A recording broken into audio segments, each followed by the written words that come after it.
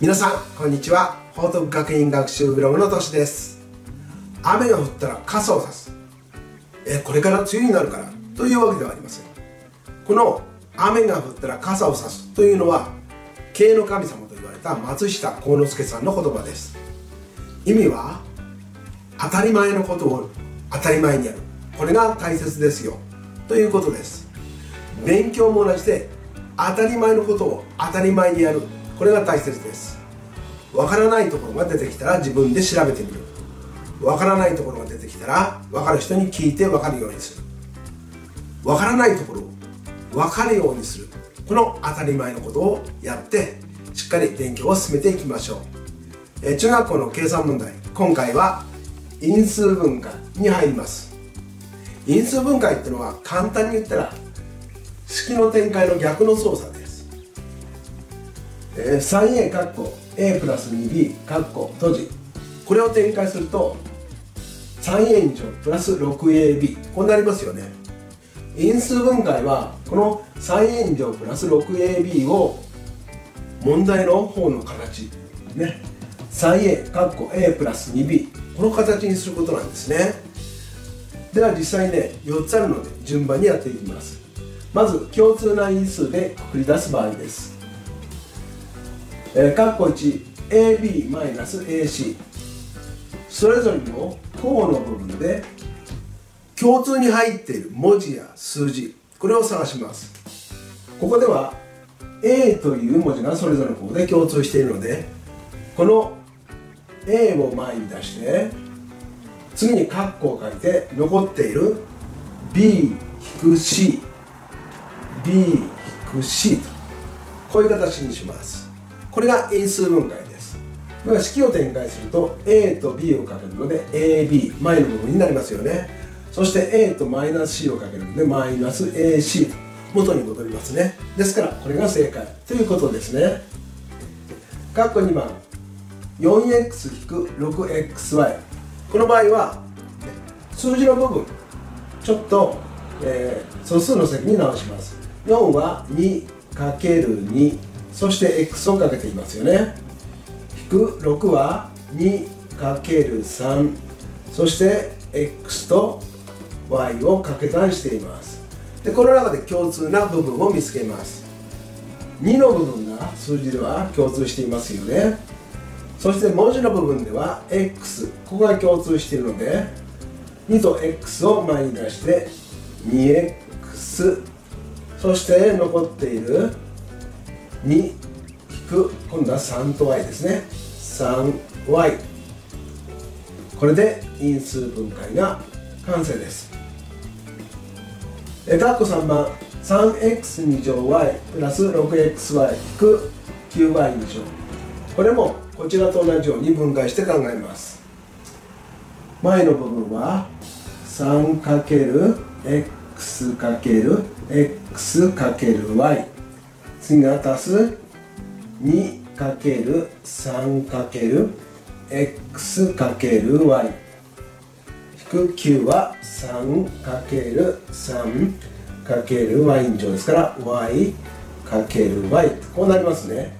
この中でそれぞれの項で共通しているもの。数字は3が共通していますよね。そして文字の部分では y これが共通しています。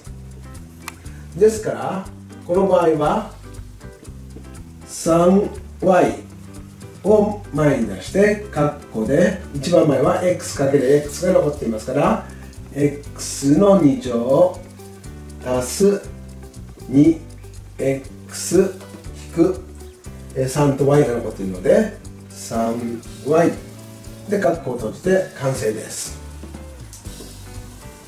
3y 括弧 x 乗プラス 2x マイナス 3y ですね。これもし不安だったらもう一回式の展開をして元の形になるかどうか確かめてください。では次に移ります。乗法公式を利用する方法です。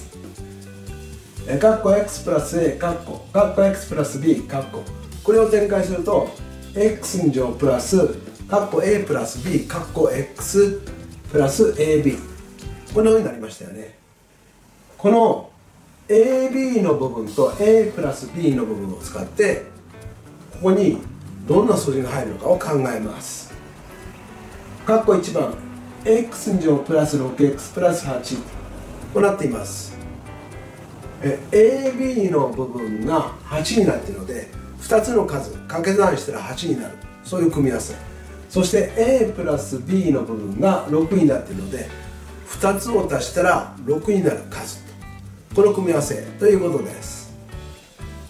で最後の部分 AB の部分がプラス8ですから同符号同士の、えー、掛け算をしてるわけですよね。でその前の部分を見ると、えー、プラス 6x になってるので正の数、ね、A と B どちらも正の数であることが分かります。そう考えると、えー、2×4 がありますよね。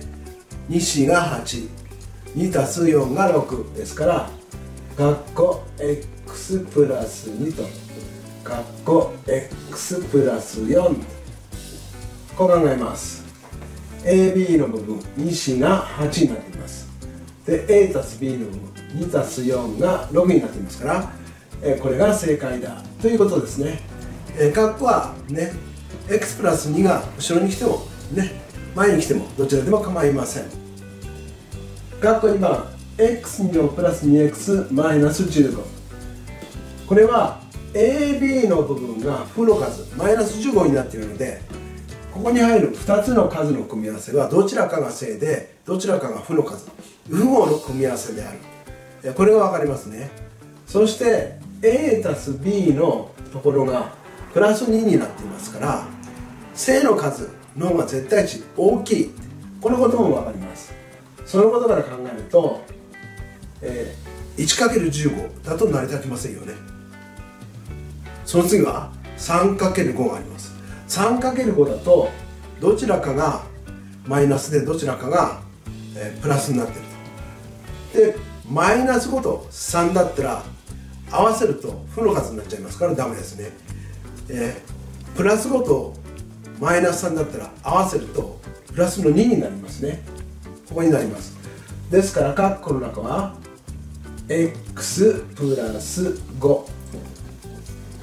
5x マイナス3とこういうふうに考えられるわけです。ね。5とマイナス3かけてマイナス15 5-3はプラスの2ですから成り立っていますよね。ですから x プラス 5x マイナス3これが正解だ。ということです。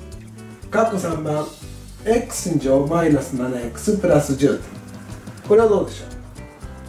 えー、A と B 掛け算したらプラスの10になる。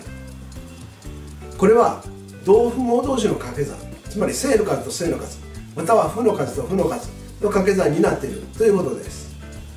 そしてここがマイナス7つまり A たす B の部分がマイナス7になっている。ということは、えー、足した絶対値。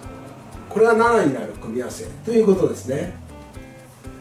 と2510が成り立ちますね。で負の数同士なので x マイナス 2x マイナス5とこう考えます。マイナス2かけるマイナス5でプラスの10マイナス2とマイナス5を合わせるとマイナスの7になるのでこれが正解だということです。括弧4番。X2 乗プラス 4x マイナス5 AB の部分がマイナス5ですから正の数と負の数の組み合わせになっている。AB がね。そして A たす B がプラスの4ですから正の数の方の絶対値が大きい。これが分かります。掛け算して5になる組み合わせは 1×5 これしかありませんよね。そして正の数の絶対値が大きいので x プラス5と。X マイナス1と。ね、こうなるわけですね。5× マイナス1はマイナス55-1はプラスの4で成り立っています、ね、このように考えて因数分解を行います。今度は平方の公式を利用します。括弧 a プラス b 括弧2乗イコール a 以上プラス 2ab プラス b の2乗。もう一つは括弧 a マイナス b 括弧の2乗イコール a2 乗マイナス 2ab プラス b の2乗、ね、この形に当てはまるかどうかを確かめていくんですね。括弧1番。A2 乗プラス 8a プラス16と。この式は16が4の2乗こうなりますから a2 乗プラス 2a かける4プラス4の2乗と。こんなふうに考えることができますよね。ですから a の2乗 2ab のところが4ですね。B で b の2乗。この形になっているので a プラス4括弧の2乗個因数分解ができるわけです。括弧2番。a 乗マイナス 14a プラス49 49というのは7の2乗ですよね。ですから a の2乗マイナス 2a かける7プラス7の2乗と。こちらの公式に当てはまりますね。ですからこれは a マイナス7括弧の2乗とこう因数分解ができるわけです。で毎回ここの部分ね書くと大変でしょ？だから頭の中でできるようにしましょう。括弧3番 x2 乗プラス 6x プラス9 9は3の2乗ですよね。そうすると x の2乗プラス2か 2x×3 で 6x になってますね。そして3の2乗ですからこれは x プラス3括弧の2乗と。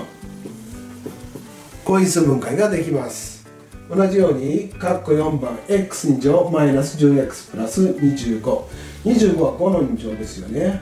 ですから確かめますと x の2乗引く 2x×5 マイナス10ですね。x プラス5の2乗になっているのでこれは x マイナス5括弧の2乗とこのように因数分解ができます。